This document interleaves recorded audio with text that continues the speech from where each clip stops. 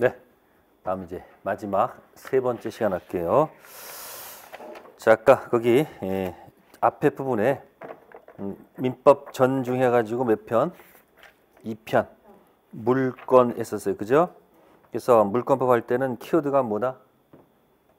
키워드가 본권, 대표, 소유권하고 본권 아닌 무슨 권? 점유권. 이제 그게 키워드라고 습니다 그러면 또 너무 경직돼 있으니까 혹시 혹시 이런 게 있습니다. 드라마 중에 옛날에 이런 드라마가 있었어요. 내 남자 여자라. 오래된 드라마예요. 혹시 더 원이라는 가수는 아세요? 더원 몰라요? 나가수에서 이 사람 노래 중에 사랑 아라는 것이 있어요. 뭐래요? 비 오는 날 들어주면 죽, 죽습니다. 이 드라마에 뭐요? 안에 삽입된 노래예요. 에? 그럼 제목이 의미심장하지 않아요? 제목이 뭐예요? 네, 남자 여자입니다. 근데 여기 이제 당연히 갈등이 있겠죠. 여기 두 사람이 나옵니다. 여자가 배종옥이 나오고 음, 김희애가 나와요. 좀 오래된 드라마인데 응? 배정옥은 캐릭터가 현모양처. 응? 뭐든 잘하고 어떤 두루도 잘 가족을 위해서. 근데 기, 둘이 친구인데 김혜는 미망인. 의사라고 하면 돼 알고 의사. 활달해 굉장히 성격이. 근데 여기 결혼한 사람이 누구냐면 김상중이에요. 김상중 아세요? 이분 그것이 알고 싶다 그 진행자 있잖아요. 그죠? 그럼 이제 여기서 이제 글자가 뭐냐면 네, 내가 누굴까요? 누구? 네.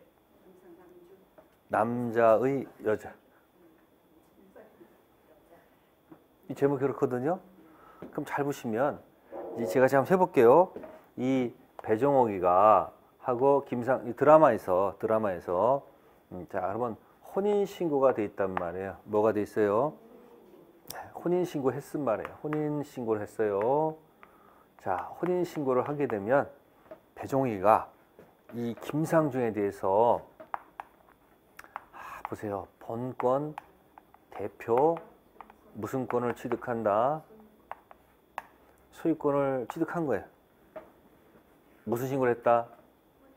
그러면 이거 혼인 신고가 돼 있을 때 우리가 이제 뭐라면 법률혼이다 이런 말을 써줘요. 무슨 혼?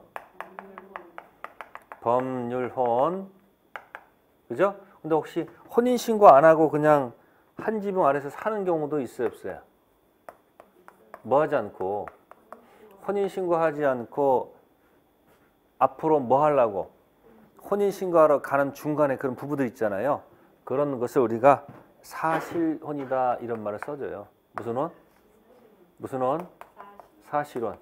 자, 여러분은 혼인신고 하셨죠? 기억이 안 나요? 또 그런 경우 있잖아. 담당 공무원이 잘못해가지고 담당 잘못해가지고 이제 지금 천연대 이상한 사람하고 이 혼인신고 해보는 경우 어, 어젠가 보니까 나오더라고. 네?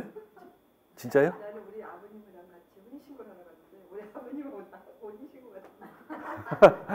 하여튼 그러니까 그, 그 그런 경우 있잖아요.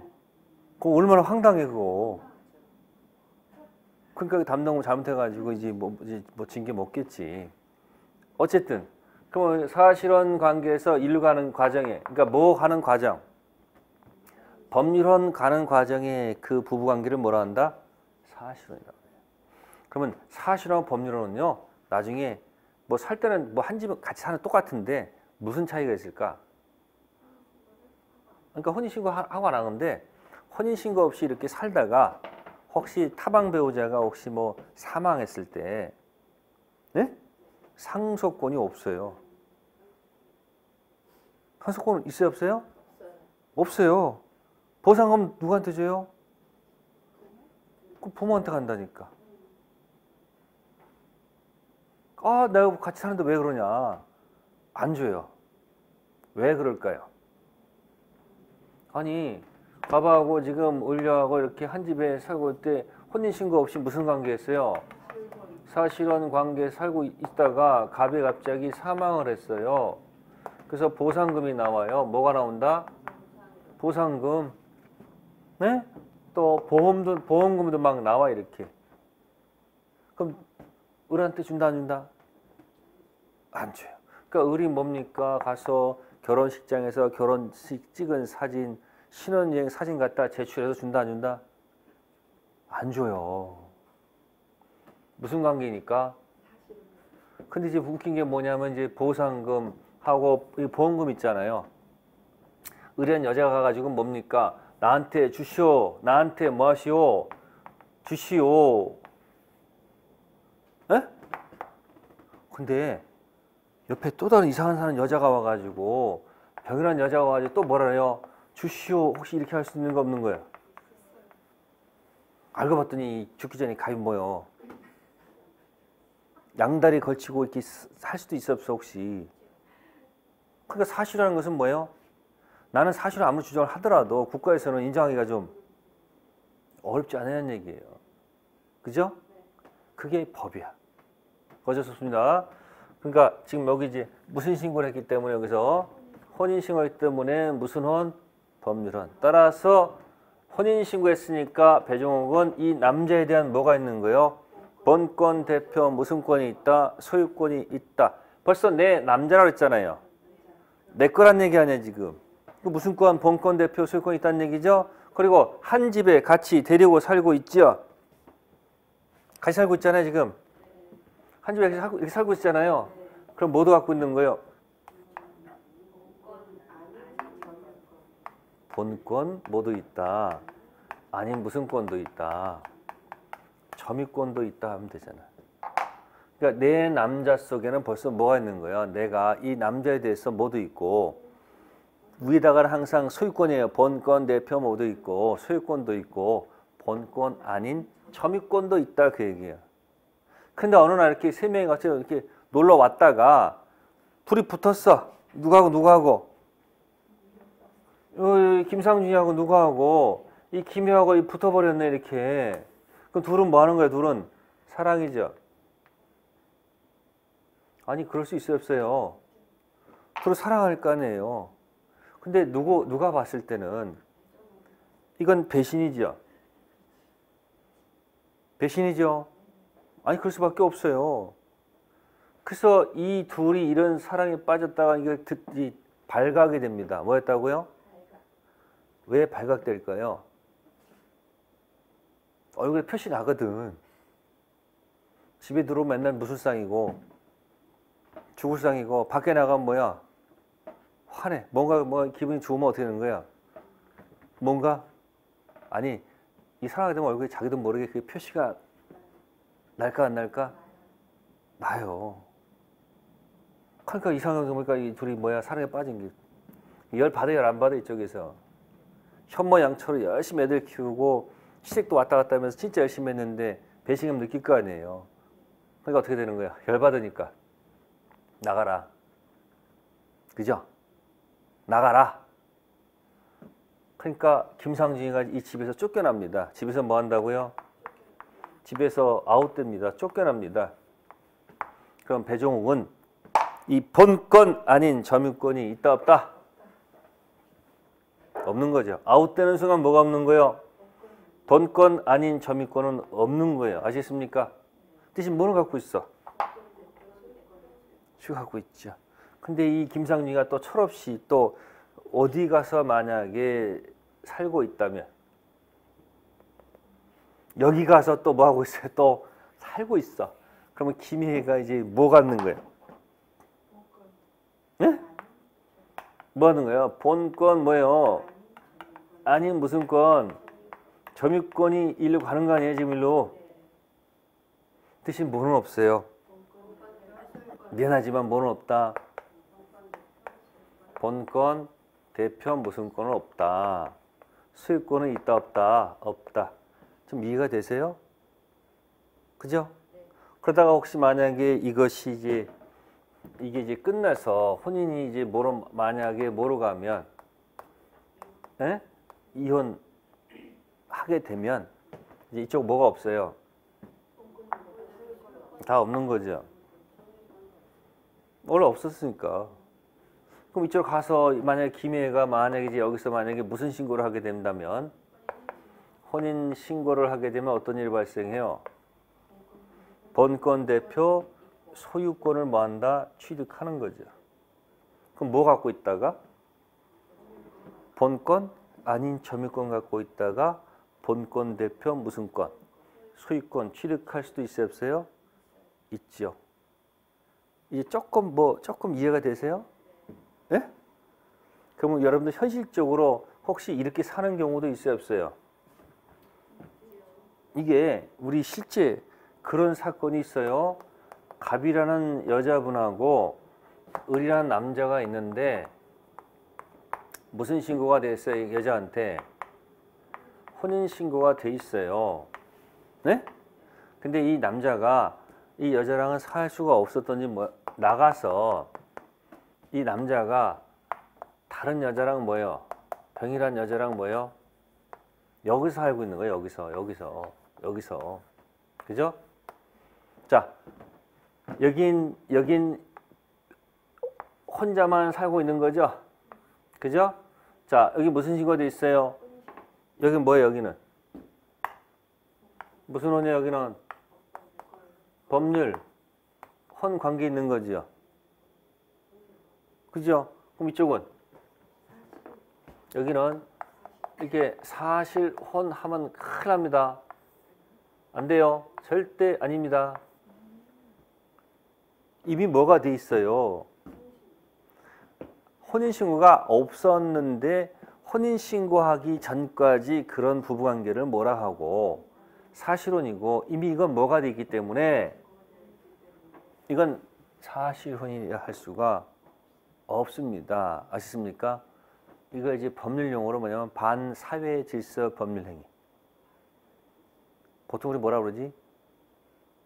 불륜? 응? 근데 뭐다? 타당성 없는 거예요. 하면 돼요? 안 돼요? 안 되잖아요.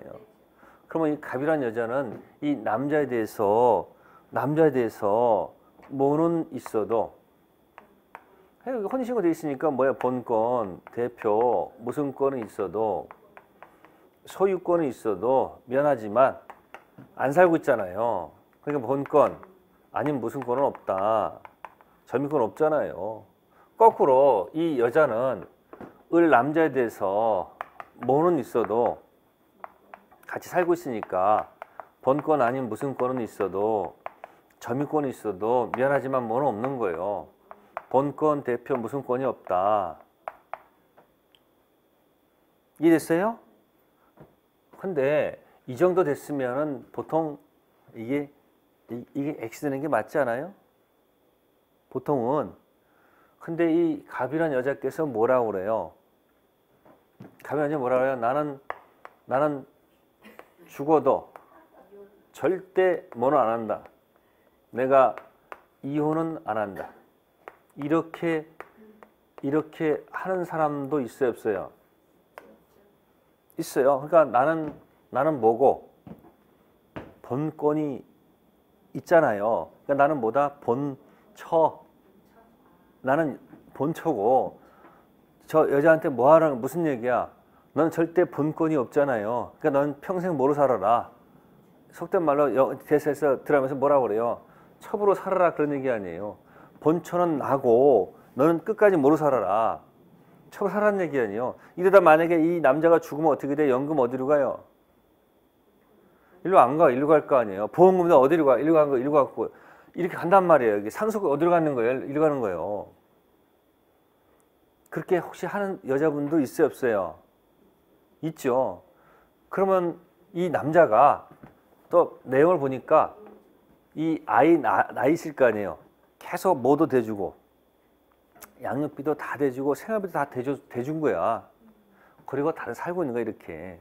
그럼 이제 이 여자분께서 열이 받아 열이 안 받아. 열 받으니까 이 남자한테 또 바로 차면서 뭐라 그럴 거예요.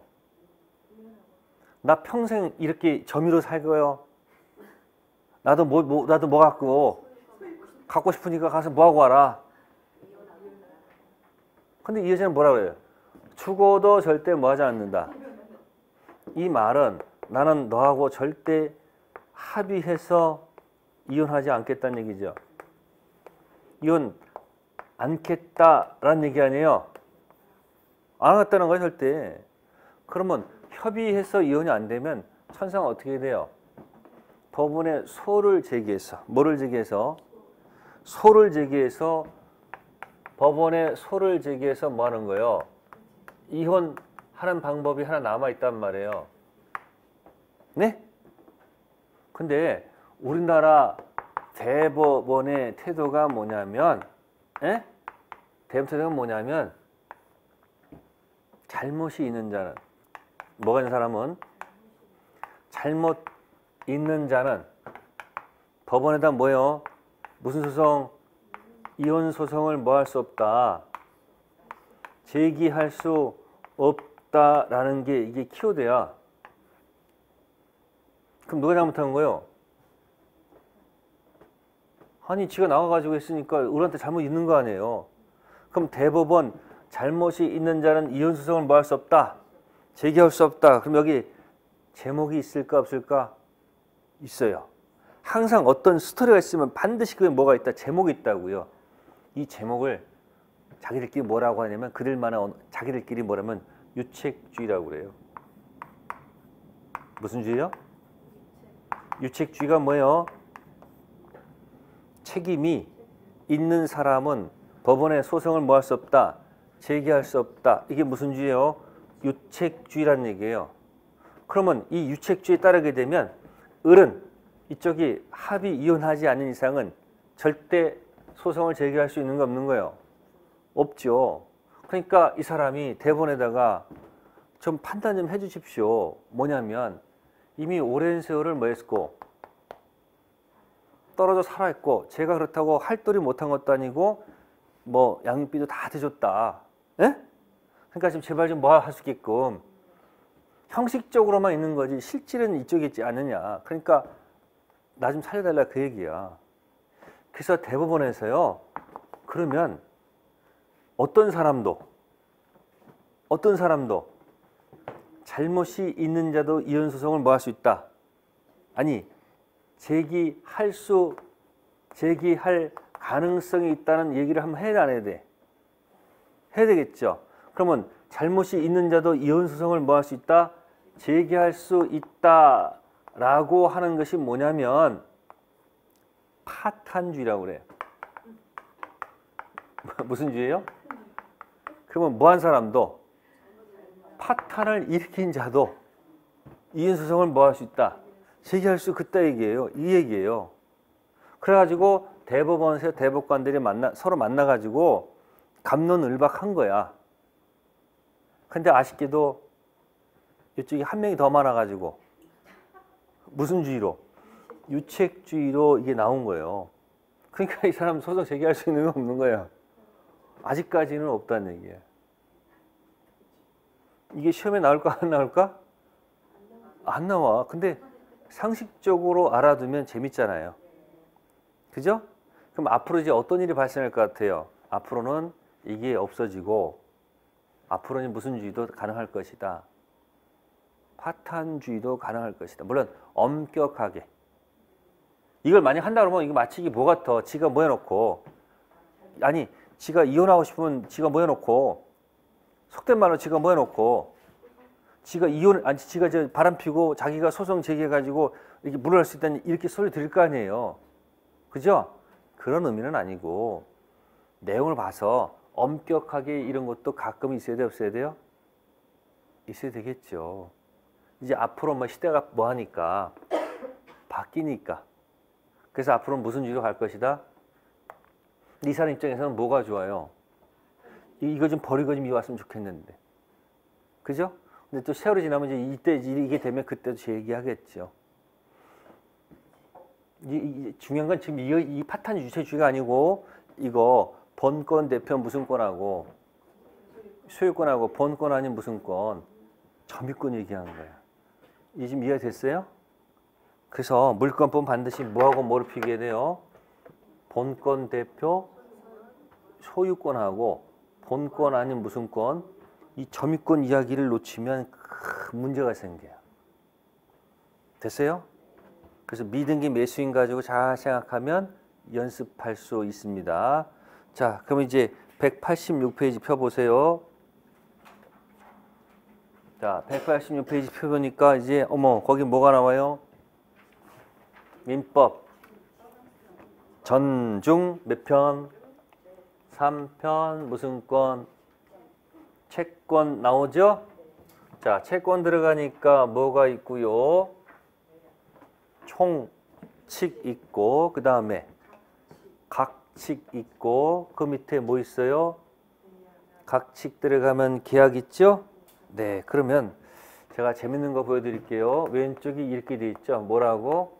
민법 전중 몇 편? 네? 3편 무슨 건? 채권 이렇게 돼 있네요. 그죠? 그리고 거기 보니까 거기 계약이란 말이 있어요? 네? 계약 있어요? 네, 좋습니다. 그럼 여러분들은 빨간색으로 민법 전 있죠? 요 전을 동그라미 한번 해보세요. 뭐였다? 전 동그라미 하셨어요? 네, 그 다음에 여기 계약 있죠? 네? 계약도 동그라미 하세요. 그리고 이렇게 연결해 보세요. 이렇게. 연결하세요. 그러면 이름이 뭐죠? 그러면 저는 뭐죠? 뭐의 약자? 민법 전에 있는 계약이죠. 그죠? 민법 전에 있는 전 계약은 거기 어, 1번부터 몇 번까지가 있어요? 14번까지가 있죠. 자, 그런데 거기 보시면은 거기 음, 거기 8번 있을 거예요. 몇 번? 8번이 제목이 뭐죠? 도급 있죠? 옆에다가 8-2 이렇게 적어놓고 옆에다가 아, 여행 계약이라고 하나 적어 놓으세요. 무슨 계약이요? 여행 계약 적었어요?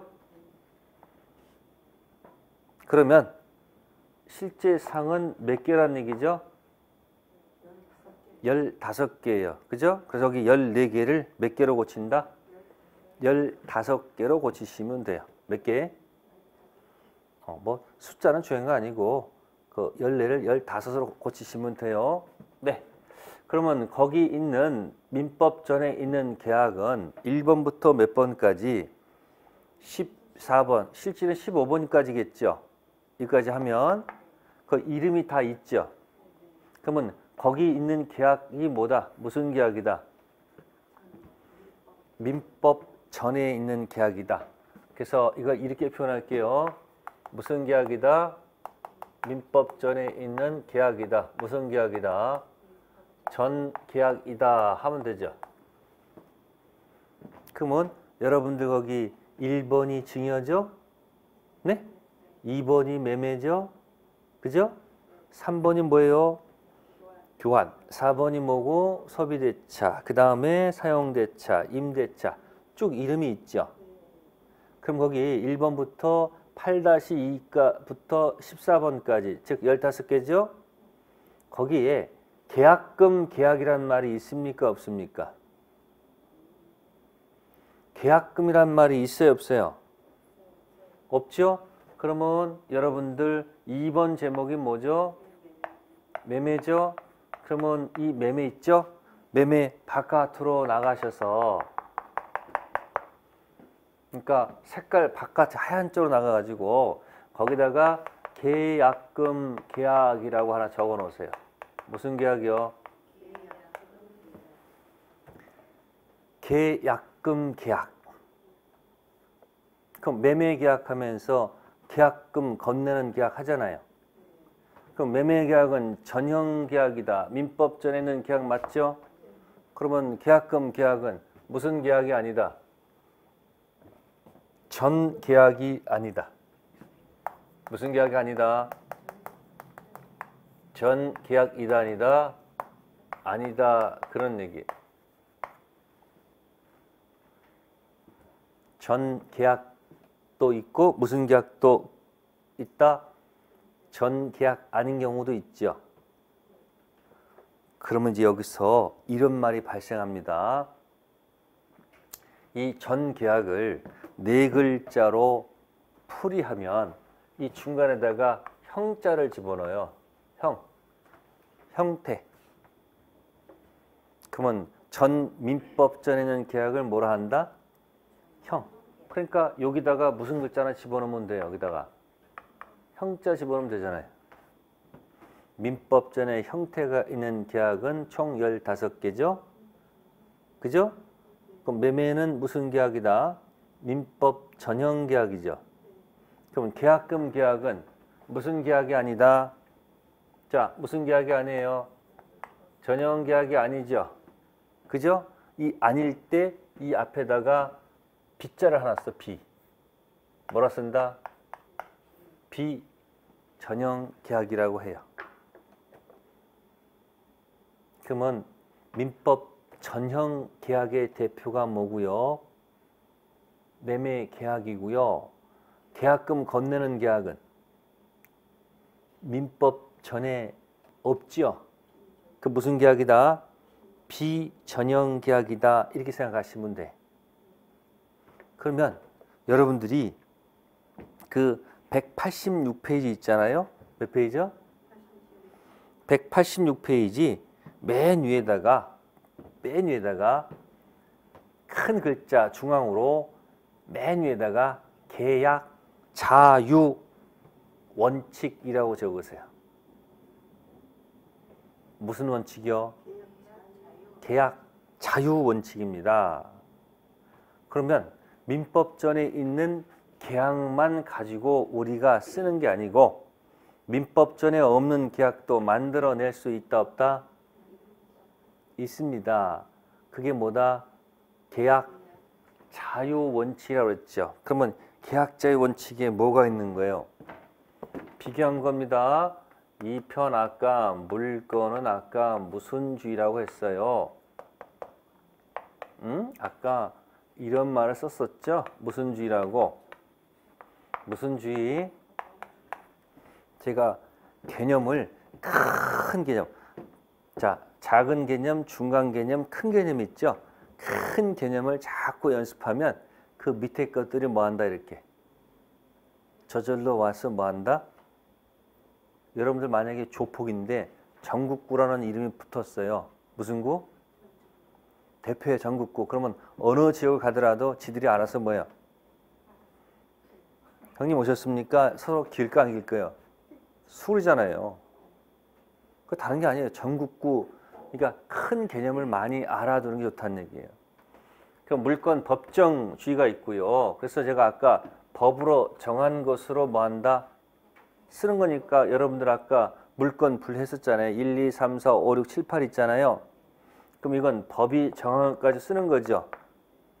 법이 정한 것만 가지고 쓰는 거니까 8개의 물건은 그죠? 예를 들어놓은 게 아니죠. 예를 들어놓은 게 아니고 뭐다? 8개로 뭐해서 한정해서 쓰란 얘기예요.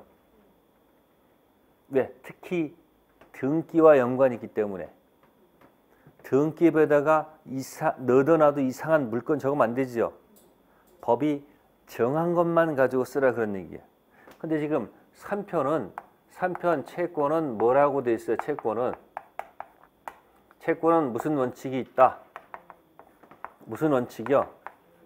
계약 무슨 원칙이요? 자유의 원칙이 지배한다 그 얘기죠. 그럼 자유란 말은 방금 전에 뭘 기억하면 돼요? 계약자라는 것은. 민법전에 그러면 계약이 몇 개가 있어요? 실제는 15개죠? 그럼 15개는 한정한 것이 아니죠. 그것만 가지고 한정 쓰는 게 아니고 그건 뭐다? 예를 든 것뿐이다 그 얘기죠. 그러니까 새로운 계약을 만들어낼 수 있는 거 없는 거예요. 있죠? 그러니까 이 민법전 계약은 아까 무슨 계약이야 이거는? 무슨 계약? 전, 전, 전, 전. 무슨 계약이에요 이게? 전형 계약 계약만 있는 게 아니고 우리는 무슨 계약도 만들어낼 수 자유니까 무슨 계약도 비 전형 계약도 만들어낼 수 있다 없다? 있다. 그래서 여러분들이 아까 아까 예시 든 것 중에서 매매 계약을 체결하면서 우리가 뭐 걸어요? 계약금 얼마 주기로 합의하지 않습니까? 그게 무슨 계약이다? 무슨 계약이다? 계약금 계약이란 말이에요. 그러면 연습할 때 매매 계약만 하지 마시고 뭐라 한다? 3편 채권에 무슨 계약? 전형 계약, 매매 계약 하면서 비전형 계약 무슨 계약? 계약금 거는 계약 한단 말이에요. 나중에 이 계약금 건네는 계약 있잖아요. 시험에 반드시 나와요. 99.99단이고요. 100%. 그러니까 시험에 100% 이미 나올 그런 제목들이 정해져 있단 말이에요. 그러면 시험에 확실하게 나, 100% 나오는 그런 제목들을 먼저 낼 것으로 뭐하고 만들고 시험에 나올 것 같기도 하고 안 나올 것 같기도 그런 건 어떻게 한다? 미루면 되잖아요. 근데 완벽주의자들은 어떻게 돼? 체크를 모르니까 1편부터 완벽하게 하려다 하려다 결국은 다 하지도 못하고 중간에 숨이 차서 쉽게 해서 자동차 부품만 외우고 있다가 자동차 몰아보지도 못하고 뭐야? 끝. 그러지 말고 뭐야? 부품 외우지 말고 핵심적인 이야기를 기억하란 말이에요. 이편 물건은 무슨 주요? 물건 법정 이외 등기와 연관이 있으니까 그래서 제가 아까 여덟 개는 한정한 것이 있을 때 제가 적어도 뭐하고 뭐는 기억하라고 했어요. 이거 이거 응? 본권 대표 무슨 권하고 소유권하고 뭐가 구별이 돼야 된다. 예? 본권 아닌 점유권 이거 구별을 해놔야지 물권법 공부할 때 굉장히 뭐다 재밌게 얘기했었잖아요. 아까 이러면서 제가 미등기 매수인 갖다 붙였죠. 미등기 매수인은 본권 대표 소유권은 없지만 뭐는 있어요? 본권 아닌 점유권 있다고 그랬죠. 근데 아까 등기하는 방법이 하나 하나 있었잖아. 뭐? 어? 아까 뭐 시오 맞아. 시오 맞아. 앞에 두 글자 뭐 있었어요? 점유해서 소유권 취득할 수 있잖아요. 그게 뭐야? 취득 시오. 무슨 시오? 그거 왜 얘기했을까? 100% 나오는 문제야. 그러니까 100% 나오는 문제를 총칙하고 물권하고 채권 계약에서 그 몇 개, 몇 개, 몇 개를 먼저 모여놓고 흐름을 기억한 다음에 그것이 딱 뭐가 돼 있으면 딱 정립이 돼 있으면 이제 그 다음부터는 갖다 붙이면 돼 이렇게. 다른 게 아니고 내가 원룸을 얻었어요. 에? 아무것도 빈 방이야. 그럼 옷을 걸어내려면 어떻게 돼요? 아니 뭔가 옷걸이가 있어야 될 거 아니야 이 옷걸이가. 그럼 옷걸이 몇 개라도 걸어놓으면 어떻게 돼요? 세 개만 걸어놔도 웬만한 옷들 이렇게 걸어놓을 수 있잖아요. 근데 이 옷걸이조차도 만약에 못 세 개만 박아놓으면 그래도 뭐야? 그래도 걸어놓을 수 있잖아요. 그렇게 못 몇 개를 몇 개 박아놓으란 말이에요 이렇게. 그러면 걸어놨다가 내려놨다 이렇게 하면서 나중에 못이 필요하면 더 갖다 뭐하고 몇개더 바꾸고 그러면 되잖아요. 그러니까 지금 얘기한 거예요 지금. 3편 채권은 계약의 무슨 계약? 우리 스트레스는 3편 채권의 전형 계약 뭐하고 매매 계약하고 비전형 계약 뭐하고 계약금 계약 걸고 뭐 주고 중도금 주고 뭐 주고 잔금 주고 그죠? 2편 물건, 물건 법정 들어가서 뭐 하면? 등기하면 모두 취득하고 본권 대표 소유권 취득하고 또 뭐까지? 본권 아닌 점유 취득하면 되잖아요. 그죠? 근데 나중에 보니까 어머 그게 사기였으면 어떻게 돼? 어 벌써 났잖아 벌써. 뭐 하셨다고요? 아니 이미 다 뭐까지 넘어갔는데 등기까지 다 넘어가는 알고 보니까 사기였어. 그럼 사기만 뭐 할 수 있으면 입증하면 그럼 등, 그 밑에서 취소하는 거 아니야. 그럼 실제로 뭐 하게 되면 취소하면 어떤 일이 발생해요? 이 계약은 그때부터야 처음부터야 처음부터 무효로 확정되잖아요. 그죠? 그러면 다시 돌려받을 수 있다 없다? 있다. 그러면 사기는 어디서 나오는 거야? 3편이야, 2편이야, 1편이야? 네? 그렇지. 벌써 알잖아요. 그 몇 편만 알고 있으면 어떤 말이 붙이면서 얘기할 수 있단 말이에요. 착오는 무효의 취소야. 응? 어떻게 알아? 이거. 아니, 했으니까 알지. 그죠? 그럼 착오를 입증하면 다시 또 뭐 할 수 있어요? 그러면 취소하기 전까지는 그대로 유효한 거죠. 그렇잖아요. 그러면 착오 취소는 어디서 나오는 거예요? 총 그러니까 3편 채권 매매도 하고 2편 물건 등기까지 다 같이 끝났는데 알고 보니까 착오나 뭐가 있었다면 사기가 있었다면 나중에 그 계약을 뭐하면 거슬러 올라가서 처음부터 확정 무효하잖아요. 그러니까 아까 여러분들이 취소가 몇 번 상태에 있다가 불확정의 상태에 있다가 실제 취소하면 어디로 간다? 확정 무효로 가면 돌려받을 수 있잖아요. 그런 걸 공부하는 거예요. 자꾸 돌아가면서. 그러면 채, 채권은 채권은 뭐다? 계약. 무슨 원칙? 자연칙. 물건은 물건 무슨 주의? 법정주의. 이게 키워드야. 그럼 이걸 가지고 계속 뭐 한다? 계속 뭐 하면 비교해 나가면서 아니 이게 이거 말고서 그다음 붙이면 되잖아요, 여기다가. 그러니까 이게 뭐야 이게? 뭐 이거 못 하나 아니에요? 못이 몇 개 있어요 지금요? 두 개. 그러고 비서 이렇게 붙여가는 거요. 그러면 그러면 자 184페이지 갑니다. 몇 페이지요? 184페이지 갑니까? 가로 2번 제목이 뭐예요? 가로 2번 물권법 점 찍고 뭐죠? 채권법이죠. 거기 1, 2, 3, 4 있죠? 자, 그러면 1번 물권과 채권으로 구성되는 무슨 법은 재산법은 가족법에 대항하는 위치에 서 있다.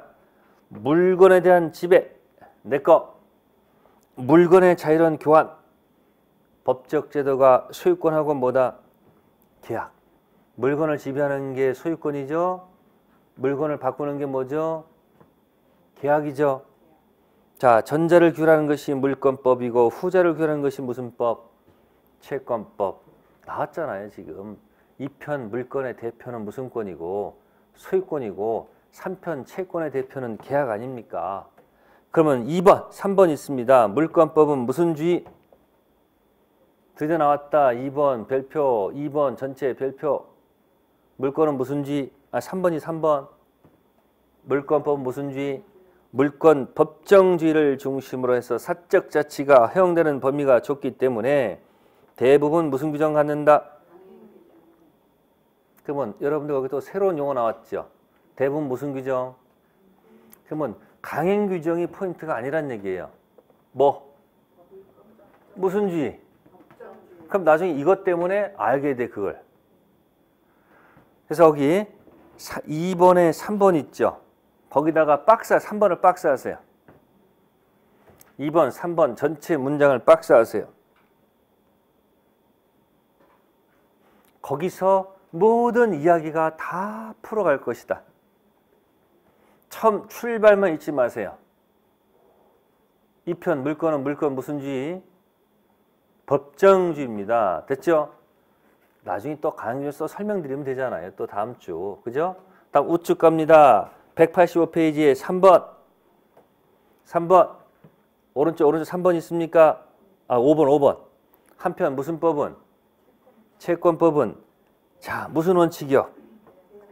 계약 자유 원칙을 중심으로 하는 사적 자치가 널리 허용되기 때문에 대부분 무슨 규정? 그럼 거기 5번 전체 박스 하세요. 그럼 몇 번과 몇 번이 비교가 돼요? 3번과 5번이 딱 비교가 돼요. 요걸 자꾸 음미하셔야 돼. 자, 질문하겠습니다. 왜 계약 자유 원칙일까요? 왜 계약 자유 원칙일까요? 아까 있잖아. 민법전에 있는 계약만 있는 게 아니고 민법전에 없는 계약도 만들어낼 수 있잖아요. 그러니까 뭐 때문에? 전형 계약도 있고 비전형도 계약도 만들어낼 수 있으니까 뭐다? 계약 자유 원칙이야. 물건은 등기 연관 있으니까 마음대로 만들어낼 수가 없으니까 한정해서 써야 되는 거고 계약은 그냥 15개 예를 들어 놓은 거 예시니까 새로운 계약을 만들어낼 수 있다 없다? 있다. 그러면 출발만 거기에 자기 아 물건은 물건 무슨 주의? 법정주의. 그럼 법정주의라니까 가장 대표가 소유권부터 전, 저당권까지 있잖아요. 물건. 그럼 물건에서 꼭 기억할 게 뭐예요? 미등기 매수인. 무슨 매수인? 그 뭐는 없어도 아니 등기 안 했으니까 본권 대표 소유권은 없어도 본권 아닌 점유권이 있었구나. 3편 채권의 계약자 원칙이라고 그랬죠. 그럼 계약자 원칙은 계약은 왜 자유예요? 전형 민법전에 있는 계약도 있고 민법전에 없는 계약도 만들어낼 수 있으니까. 전형 계약과 뭐요? 비전형 계약. 그러니까 3편 채권에 전형 계약에 매매 계약하고 비전형 계약 계약금 계약해서 계약금도 주고 중도금 주고 잔금도 다 줬단 얘기예요. 근데 2편 물건에 뭘 하지 않고 등기하지 않고 경작하고 있으면 본권 대표 소유권은 없고 본권 아닌 점유권은 있죠. 그럼 물권법은 무슨 규정이 많다는 거예요? 대부분 강행 규정. 강행 규정이라는 것은 그 조문과 따라야 돼. 그러면 거기다 계약서 해놓고 야 너하고 나하고 등기 안 해도 본권 대표 소유자는 나다. 인정 안 한다는 거예요. 왜? 법전에 186조에 반드시 뭘 하고 돼 있어요? 등기해야지 소유권 취득한다고 돼 있으니까 그 조문과 달리 정해도 그건 효력이 없어요. 됐어요? 근데 계약자의 원칙은 계약 제 원칙은 달리 정할 수도 있어요 없어요? 있어. 그래서 나중에 또 물권 법정주의 법정 때문에 대부분 무슨 규정? 강행 규정의 말이 붙어오고 계약자 원칙이 있으니까 대부분 무슨 규정? 임의 규정. 그러면 거기서 강행 규정과 또 임의 규정을 또 제대로 이해하면 또 거기서 또 다른 세계가 또 펼쳐진단 말이에요. 그러면 강행 규정과 임의 규정을 비교하는 것보다는 먼저 그 위에 거 무슨 주의? 2편 물권의 무슨 주의하고 법정주의하고 3편 채권의 뭐야? 계약제 원칙을 뭐 기억하는 거야. 그럼 또 뒤에 가면 그런 내용들이 있을까 없을까? 안 가면 또 있겠지. 근데 아직까지 제가 안 갔죠. 궁금하죠? 궁금하라고. 궁금해도 나중에 책 보면 재밌거든. 그래서 일단 흐름만 오늘 말씀드린 거야. 그럼 다음 주는 이제 뭐 가지고 뒤에 가서 무슨 주의하고 법정주의하고 계약제 대부분 강행 규정과 무슨 규정, 임의 규정이 뭔지를 또 설명드리면 되잖아요. 됐죠? 오늘 가슴에 어떻게 돼요? 아니 물건 무슨 주의하고 법정 주의하고 계약 자유원칙 이 제목을 놓치지 말란 얘기예요. 크로제 들고 딱 일어나서 가시면 다 까먹는 거죠? 좋아요. 까먹고 다시 오세요. 또 설명하면 아 그때 얘기했었지. 이게 반복돼서 자꾸 되는 거예요. 공부를 그렇게 하는 거지 한방 되는 거 아니에요. 네 오늘 여기까지 하겠습니다. 감사합니다. 다음 주에 뵐게요.